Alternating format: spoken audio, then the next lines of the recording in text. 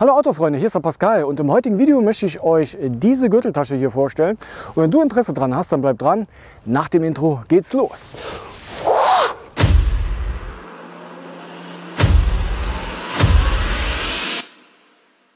So Leute, bevor es aber jetzt gleich losgeht, möchte ich noch ähm, von vornherein für etwas Klarheit sorgen. Diese Tasche hier habe ich nicht gesponsert bekommen und das Video wird hier auch von keiner Firma oder so unterstützt.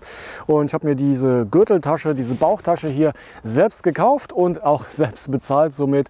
Und ja, von daher möchte ich nur für etwas Klarheit sorgen. Ich mache dieses Video jetzt nur, weil ich die letzte Zeit oft darauf angesprochen wurde, beziehungsweise habe auch viele Nachrichten bekommen, was das denn für eine Gürteltasche genau wäre.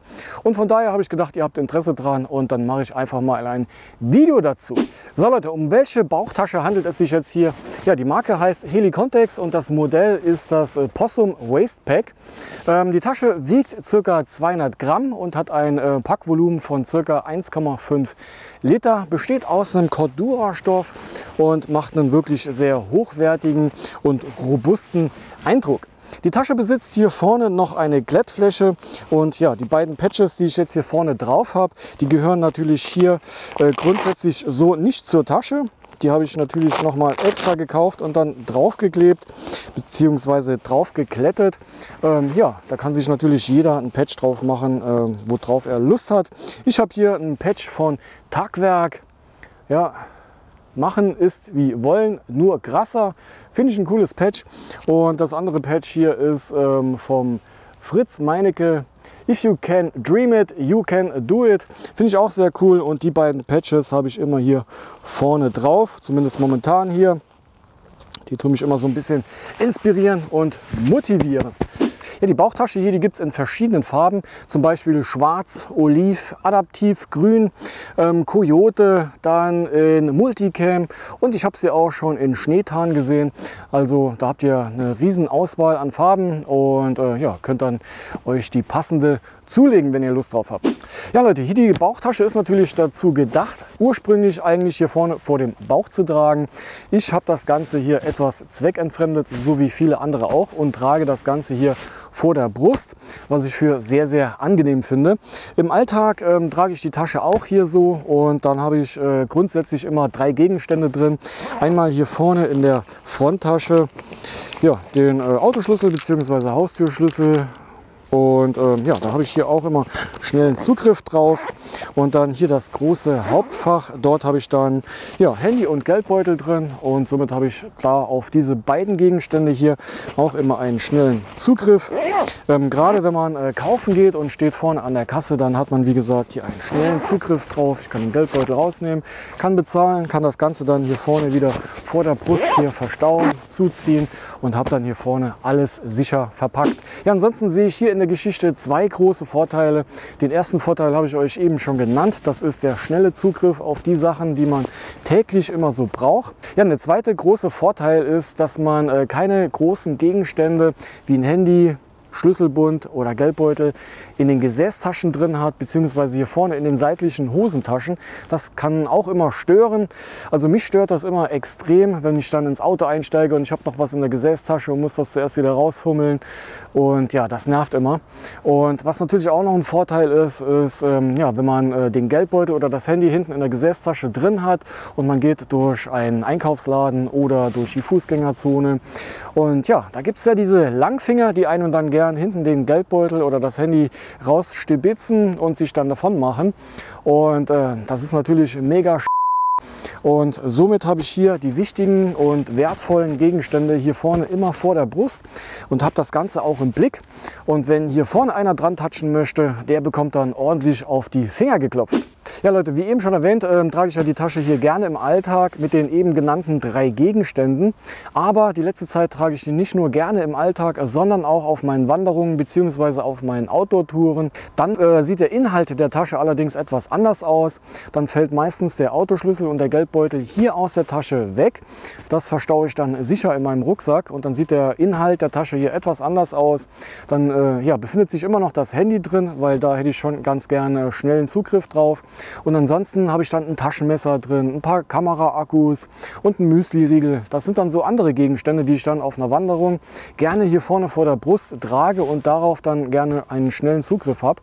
Ja, wenn ich meinen Kameraakku zum Beispiel im Rucksack drin hätte oder sowas und ja, der Akku von der Kamera ist leer, dann müsste ich extra den Rucksack ausziehen und so dann wieder in der, im Rucksack rumkramen.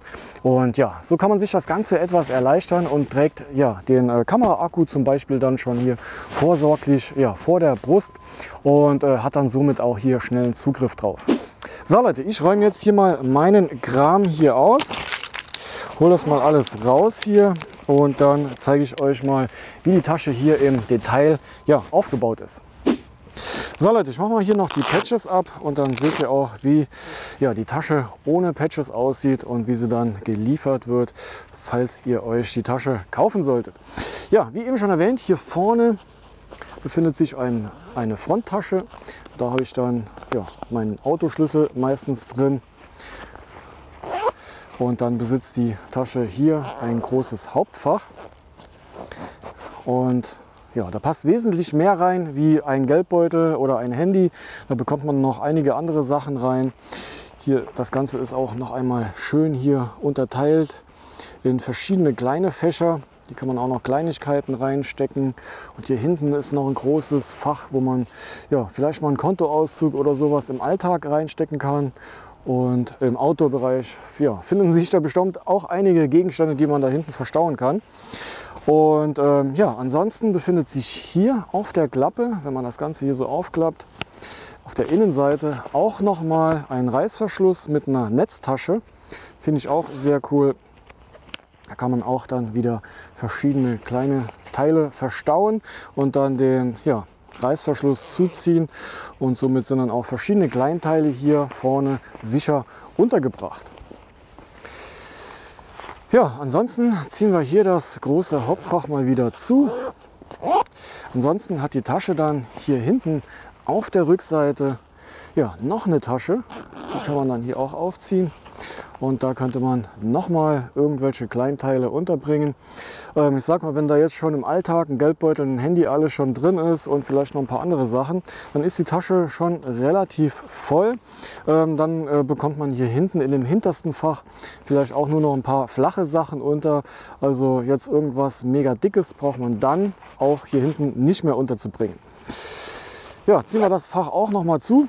Und ansonsten befindet sich natürlich hier der obligatorische Bauchgurt dran, den man natürlich benutzen kann, um sich die Bauchtasche am Bauch zu befestigen oder wie ich das mache, ja, über die Schulter zu hängen. Ansonsten kann man aber auch diesen Bauchgurt hier mit dem Clip abmachen. Und auf der anderen Seite befindet sich hier so ein konisches Stück Stoff, was hier drüber gefummelt ist, sage ich jetzt mal. Ich versuche das mal hier rüber zu ziehen. Und äh, hier seht ihr jetzt einen Haken und der ist eingeschlauft in so eine Schlaufe. So, der Nachteil an der ganzen Geschichte ist, dass der Haken hier unten offen ist, da seht ihr das, und dass das Ganze normalerweise nur gesichert ist durch dieses konische Stück Stoff hier, was dann hier so drüber gezogen wird. Ja, ich zeige euch das ganz genau, deswegen dauert das jetzt wahrscheinlich hier etwas länger. So sieht das normalerweise aus und ähm, hat natürlich den Vorteil, dass wenn man die Bauchtasche hier von diesem Bauchgürtel hier befreien möchte, dass das wirklich sehr, sehr schnell geht. Ich ziehe das Ganze hier jetzt nochmal zurück und lege diesen Haken hier mal nochmal frei. Und dann seht ihr auch hier, ja, ist ein bisschen schwierig, ähm, hier den ähm, ja, weißen Kabelbinder. Ich habe das Ganze hier mit einem Kabelbinder so gesichert und somit kann sich hier diese Bauchtasche auch nicht aus Versehen hier lösen. Ja, ähm, das war mir ganz äh, wichtig, weil ich mache den, äh, diesen, diesen Bauchgürtel hier, diesen Gurt, mache ich an der Bauchtasche einfach nicht ab. Bei mir bleibt das fest verbunden. Ich habe kein Interesse daran, dass ich äh, ja, die Bauchtasche von dem Gürtel hier schnell lösen kann. Deswegen habe ich das Ganze hier gesichert mit diesen Kabelbindern hier und ja, ziehe dann wieder dieses konische Stück Stoff hier drüber und dann ja, verdeckt das auch diesen Haken bzw. diese Kabelbinder. Dann sieht man das nicht. Und dann ähm, ja, brauche ich auch keine Angst zu haben, dass ich, dass ich ähm, ja, dieser Haken mal von der Bauchtasche ähm, versehentlich lösen würde und ähm, ja, ich dann die Bauchtasche verliere und es nicht merken würde. Ja, so sieht das Ganze dann aus. Somit ist das Ganze gesichert. Kann man halt sehen, wie man möchte. Wie ich gerade eben schon gesagt habe, kann ein Vorteil sein, wenn man die Bauchtasche oft lösen möchte von dem Gürtel.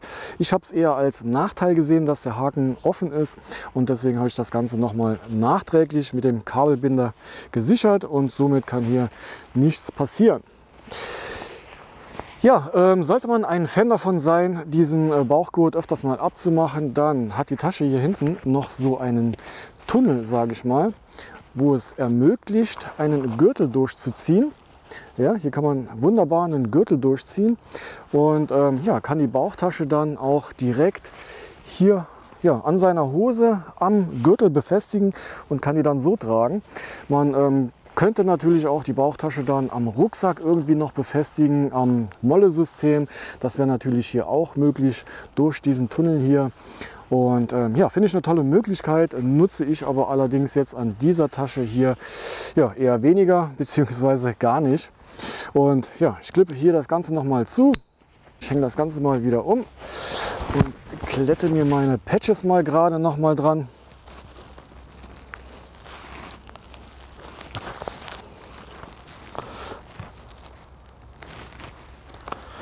So Leute, ich mache jetzt mal noch mal mein Handy hier in das große Hauptfach rein, denn zu dem großen Hauptfach gibt es noch eine Sache zu erzählen, die vielleicht für den einen oder anderen von euch von Interesse sein könnte. Ähm, ich habe meine Bauchtasche ja jetzt hier so über die Schultern angezogen, dass der, ja, der Bauchgurt hier über meine linke Schulter drüber geht und ähm, der Reißverschluss bzw. ja, hier oben die Reißverschlussöffnung, die befindet sich jetzt auch hier oben und nicht hier unten an der Tasche, was ich auch für wichtig empfinde. Aber ähm, das Ganze könnte man auch andersrum tragen, denn das große Hauptfach hier hat ähm, ja, zwei Reißverschlüsse. Ja, und die befinden sich, wie gesagt, jetzt bei mir hier an der obersten Ecke. Wenn das hier unten wäre, würde ich persönlich das ein bisschen blöd finden, weil wenn ich dann hier unten aufmache, könnte dann schon der ein oder andere Gegenstand vielleicht direkt rausfallen. Und somit befindet sich ja die beiden Reißverschlüsse hier oben und ich kann aufziehen und kann dann von oben reingreifen. Ja, sollte ich aber jetzt die Bauchtasche andersrum tragen wollen, dass der äh, Bauchgurt hier nicht über die linke Schulter drüber geht, sondern über die rechte. Ich mache das mal gerade. So, also einmal so rum hier. So, jetzt befinden sich nach meiner Einstellung her die beiden Reißverschlüsse hier an der untersten Kante und nicht hier oben. Und wenn ich jetzt hier unten aufziehe, könnten eventuell Kleinteile hier unten dann schon direkt rausfallen. Aber ja, wie eben schon erwähnt, der Reißverschluss hat ja hier zwei solche Schiffchen, glaube ich, sagt man dazu. Und ähm, die kann man dann hier nach oben ziehen und hat dann somit auch, wenn man die Bauchtasche dann so über die Schultern drüber trägt, dann auch wieder die Öffnung hier oben und kann dann hier wunderbar so aufmachen und läuft dann nicht die Gefahr, dass hier unten direkt was rausfällt, sondern hat dann auch wieder von hier oben Zugriff drauf. Ja, also ich würde mal sagen, das Ganze hier ist dann eventuell für Links- oder Rechtshänder kompatibel. So rum, wie man das Ganze gerne möchte, kann man dann die Tasche auch tragen. So Leute, das soll es auch soweit zu der Bauchtasche hier gewesen sein.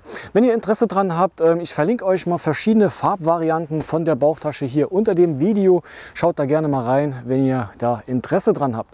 Ja, ansonsten, ähm, wenn euch das Video was gebracht hat und euch gefallen hat, dann gebt doch einen Daumen hoch, abonniert noch gerne hier meinen Kanal und wir sehen uns dann im nächsten Video.